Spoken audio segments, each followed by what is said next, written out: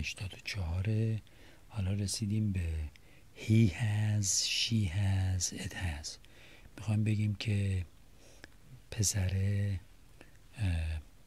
یه موتور داره خب میگیم he has a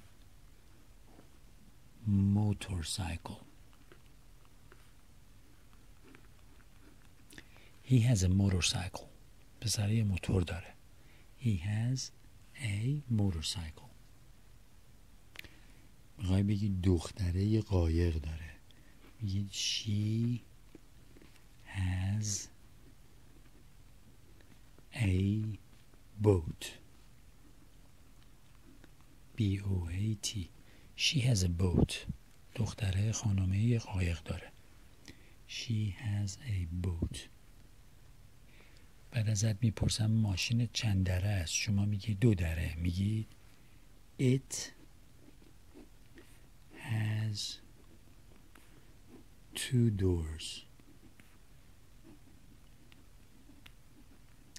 It has two doors. دو تا در داره. دو در است. بعد میایم اینجا. برای we have ما داریم. می‌خوایم بگیم که ما یه ما دوتا یه خواهر داریم. We have a sister.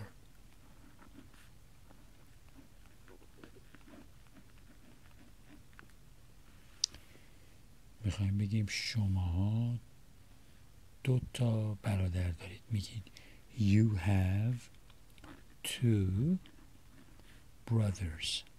Brothers. ببینید brother رو اس گذاشتم که بشه دوتا you have two brothers. تو دو تا برادر داری.